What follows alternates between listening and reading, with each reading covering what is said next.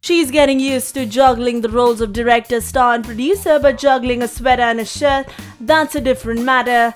Katie Holmes did battle with both pieces of clothing lost on the New York set of All We Had on Thursday. For her scene, the 36 year old had to make a quick change out of her car, but with cameras rolling, that was easier said than done. The Dawson's Creek star had started her day in bootcut pale denim jeans and a zipped up cotton pink hoodie, but as her character, she had to rush to her disastrous looking car and attempt to make herself look presentable.